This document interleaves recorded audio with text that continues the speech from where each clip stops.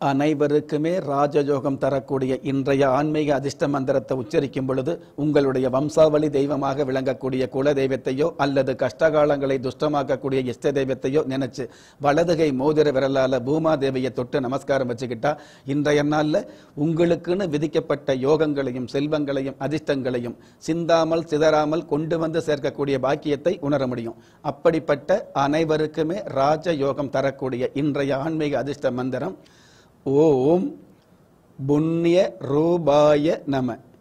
மீண்டும் ஒரு முறை.